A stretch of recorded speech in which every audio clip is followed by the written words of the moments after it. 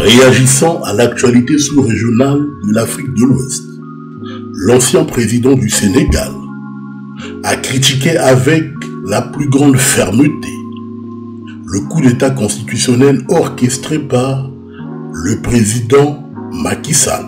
Macky Sall a créé de graves dangers de déstabilisation du Sénégal dans la violence. Rappelez-vous ce qui s'est passé en Côte d'Ivoire avec plus de 3000 morts, au Burundi avec plus de 2000 morts, en Guinée avec 150 morts, au Togo avec entre 400 et 500 morts, au Kenya, au Nigeria et en RDC. S'imaginer que ce qui est arrivé ailleurs ne peut pas arriver au Sénégal possède d'une touchante naïveté. Je voudrais rappeler que le Sénégalais, le Sénégal est un peuple pacifique, mais il peut être violent, très violent. Cela, les présidents Senghor et Diouf le savaient, qui avaient adopté le principe du dialogue permanent avec l'opposition de façon à trouver des solutions consensuelles avant l'explosion.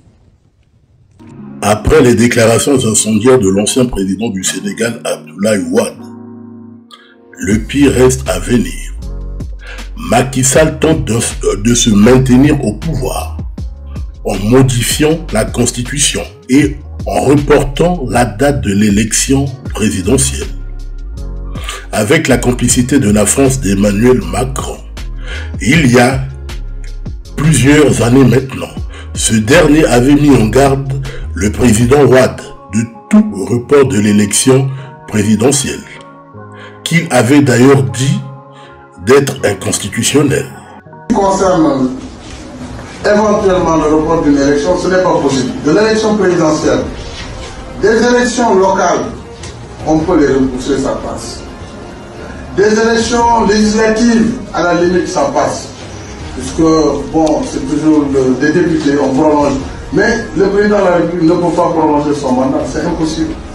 Et cette question avait été posée en 2006, je vous le rappelle, parce qu'il y a des gens qui agitaient aussi la possibilité pour le chef de l'État en 2006 de reporter un peu les élections et d'engager un dialogue politique avec l'opposition pour organiser les élections en 2009. Mais nous qui étions lui, lui avions dit que ce n'était pas possible. Il ne faut pas augmenter d'une journée son mandat. Sinon le pays serait dans le chaos puisque les gens ne le reconnaîtraient plus. Il n'y aurait plus d'autorité dans ce pays. À partir du moment où le président n'est plus reconnu, ben, chacun fera ce qu'il veut. Et ça, c'est dangereux pour le pays. Donc ça, c'est une fiction. Ceux qui, pensent ainsi doivent cesser de rêver. Le président ne peut pas augmenter pour une journée. Sauf si le Sénégal, on ne sait pas se trouver dans une guerre très grave. Là, ce sont des conditions particulières. Vous parlez d'électricité de, de, de pour, pour parler de report d'élection présidentielle, je crois que ça ne fait pas très sérieux quand même.